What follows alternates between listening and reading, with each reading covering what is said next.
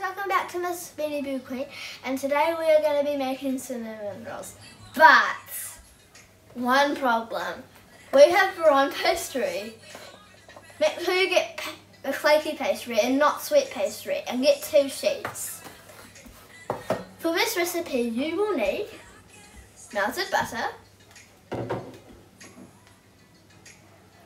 two tablespoons of melted butter, 2 tablespoons of palm sugar, and 1 tablespoon of cinnamon. Let's get to it. So now we're going to put butter onto the pastry with the special tool. So let's get to it.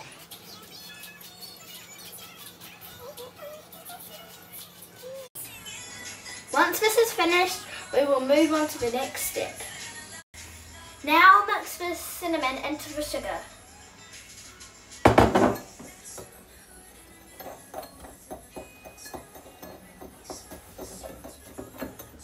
Once you have done that, you can sprinkle it on to the pastry.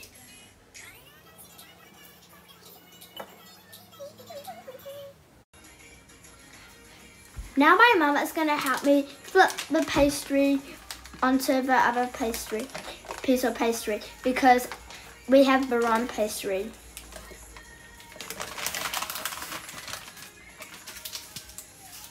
Now with sealed.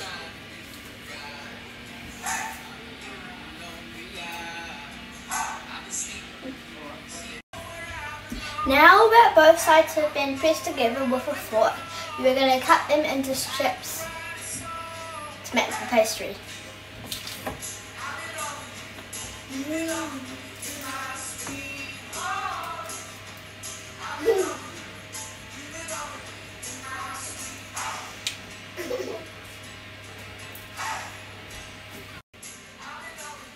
Now we have had a big pastry disaster with the Ron pastry, we are going to press down like, we're going to change the recipe, the shape a little bit, and we are going to turn it into cinnamon sticks. So, uh, you've got to grab the fork that you were using, and you are going to press down very lightly like this with the fork like you did.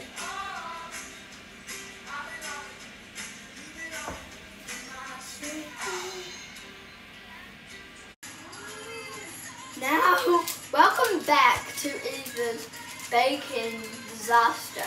Here we have got our centipedes. Yeah.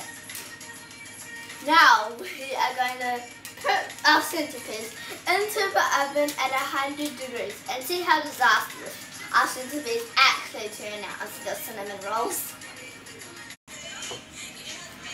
Just checking on our cinnamon disaster here. They're looking good. Just checking on our chicken batch, making sure it's not too disastrous. Going good, not bad. Hopefully we don't overburn them.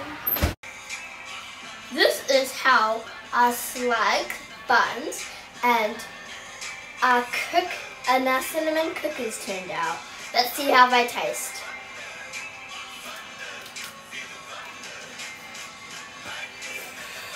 They taste like jets gingerbread.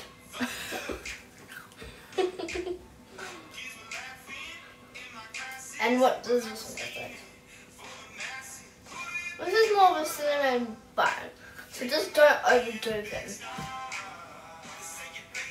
Anyway,